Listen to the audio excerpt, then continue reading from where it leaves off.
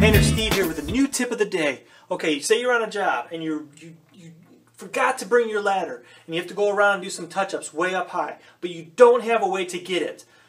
Make sure you hire an employee that was from the Ole Miss lineman.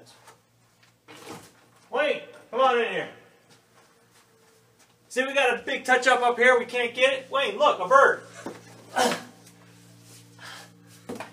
Oh, and that's how we do our touch-up for the day.